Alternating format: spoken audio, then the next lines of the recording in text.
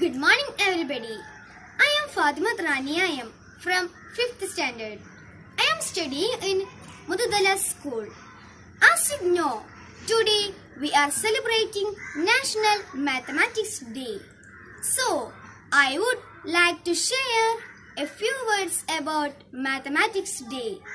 National Mathematics Day is celebrated every year on December 22 across the nation to recognize and celebrate the works of Srinivasa Ramanujan.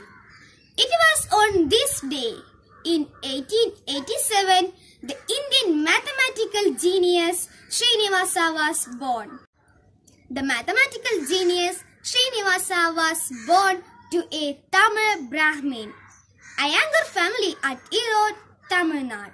The former Prime Minister Manmohan Singh on February 26, 2012 declared December 22 as the National Mathematics Day to mark the mathematician's birth anniversary.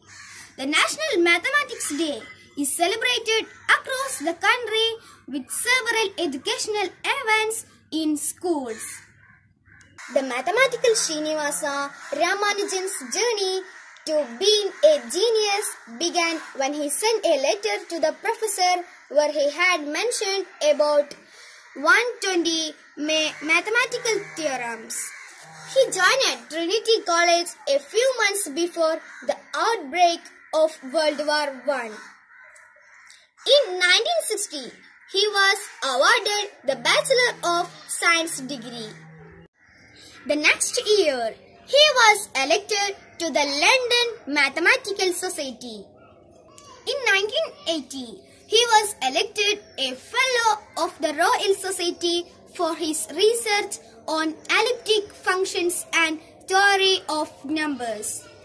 The same year in October, he became the first Indian to be elected a Fellow of Trinity College, Cambridge. In 1999, he returned to India due to his poor health and a year. Later, on April 26, 1920, he breathed his last at the age of 32. Thank you. Have a nice day.